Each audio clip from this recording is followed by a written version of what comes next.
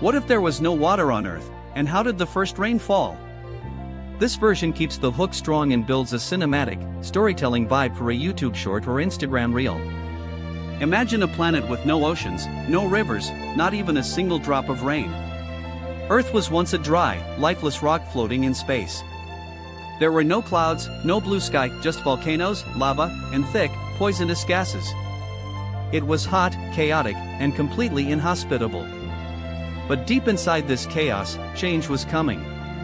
Massive volcanic eruptions released tons of water vapor into the atmosphere. As Earth slowly cooled, that vapor condensed into clouds.